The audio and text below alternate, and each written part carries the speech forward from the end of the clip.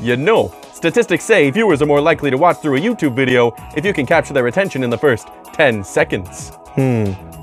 Robot frog throwing a pie in a clown's face.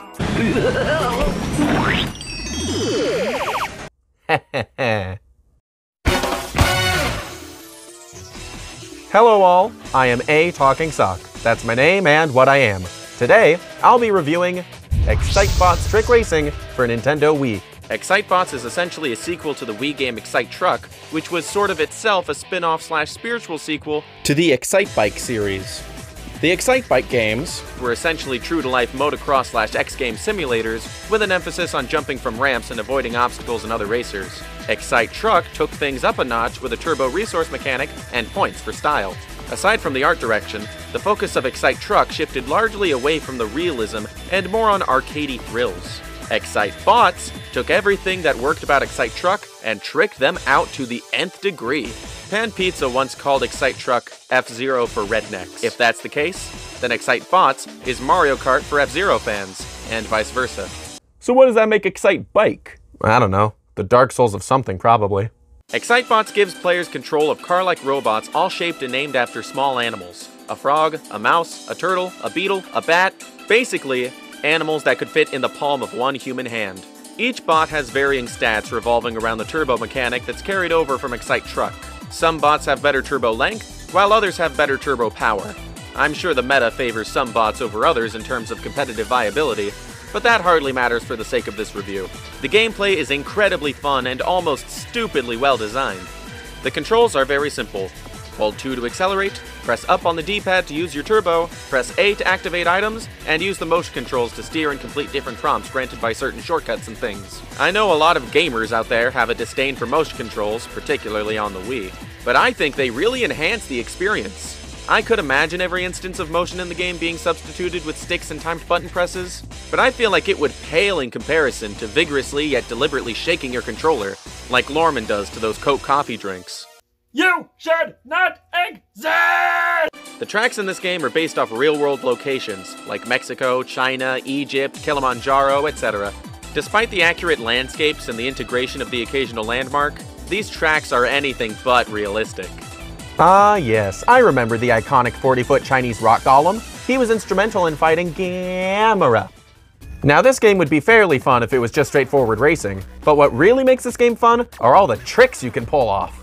Some of them are optional but highly incentivized, like turbo jumps and super drifts. Some of them are built into the terrain, like red bars and yellow bars, and some of them can only be activated by running into gift boxes. Most of the time, the paths that open up due to gift boxes act as shortcuts, while others provide an opportunity to do more tricks and earn more stars. Sometimes both. Oh, speaking of stars, I can't believe I've gone this long into the review without bringing them up. See, the way this game works is a little different from typical racing games. While most would declare the first person to cross the finish line the winner, this game gives that honor to the racer who has collected the most stars. Stars can be earned by doing anything, Jumping? Stars. Drifting? Stars. Doing tricks? Stars. Using items? Stars. Crashing? Believe it or not, stars. Players who cross the finish line before the rest get big star bonuses, but if they don't take every opportunity they can to nab stars, then that won't be enough to guarantee a victory. Plus, in the single player campaign, a certain number of stars are required to earn a letter rank, which would unlock more courses and coins. Now, what are coins for, you ask? Well, those are for unlocking more bots to race with. And let me tell you, some of these unlockable bots are just straight up objectively better than the default ones.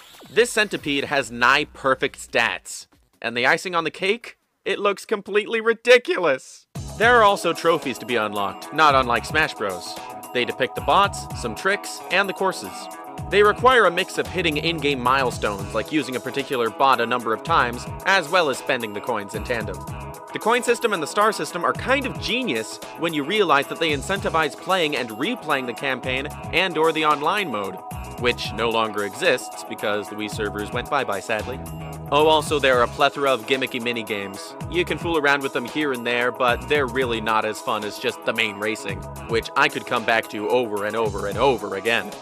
I'm not one to give review scores. I just don't see the point in trying to objectively quantify my personal enjoyment of any given thing. I do, however, enjoy looking into the history and or behind the scenes of things I really enjoy. And boy howdy, does this game have a sad yet interesting story behind it. As some of you may already know, Excite Truck was a launch title for the Wii, and as such, it was a modest success. Despite the game being published and funded by Nintendo, the game was actually developed by Monster Games, a Western studio whose track record is mostly made up of NASCAR tie in games, which they continue to pump out to this day, in fact. I guess Excite Truck's success convinced Nintendo to let them make what was essentially a sequel with Excitebots, but for whatever reason, they limited its release. Excitebots made it to shelves here in America, but in Japan, it was only available through some sort of Club Nintendo redemption thingy, and in Europe, they just didn't even bother releasing it at all. Limiting the game's release overseas was nothing but a hindrance to the game's potential success for sure. But this game didn't just underperform, it flopped. There are many contributing factors that might have played a part in Excitebot's failure. For one, it was released in a post Mario Kart Wii age, so it's likely that most Wii owners looking for a racing game already made up their mind as to what game they'd be picking up.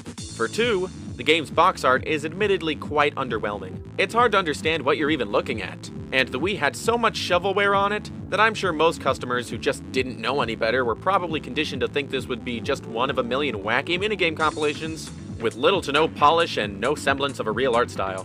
For three, Monster Games' track record is, again, NASCAR games. So hardcore gamers in 2009 probably thought it was safe to assume that this motion-controlled Wii racing game, with robot animals on the cover that boasted a multitude of gimmicky extra modes from the developers of NASCAR Heat for the Game Boy Color, wouldn't be for them. I think it's an absolute shame that Excitebots flopped but I'm at least happy that Nintendo decided to put it up on the Wii U eShop. Granted, that doesn't do much for it, but hey, now you can pick it up without having to track down a physical copy, which, by the way, are pretty cheap on the secondhand market. I know all too well that Nintendo isn't exactly famous for giving underperforming games second chances, but I genuinely believe that if Nintendo and Monster Games made a new Excitebots for the Switch and gave it some good advertising, it could easily sell over a million copies at least. That will never happen but a sock can dream, right? In the meantime, if you have a Wii or a Wii U, I highly recommend checking I highly recommend checking Excitebots out. It's pretty darn cheap on the secondhand market too. And thus concludes my review of Excitebots. Have you played it? Would you like to? Or perhaps even see a sequel release? let me know in the comments, por favor. And if you've enjoyed this video, please consider giving it a like, and subscribing to my channel for more videos like it. Sharing this video or my channel on social media also helps, but if you really want to go the extra mile in helping my creative endeavors more so than YouTube themselves do, then consider pledging to my Patreon for as little as $1 a month. I provide perks like behind the scenes updates and a credit in my videos for that sort of thing. Either way, thank you so very, very much for watching, and I will see you the next time I...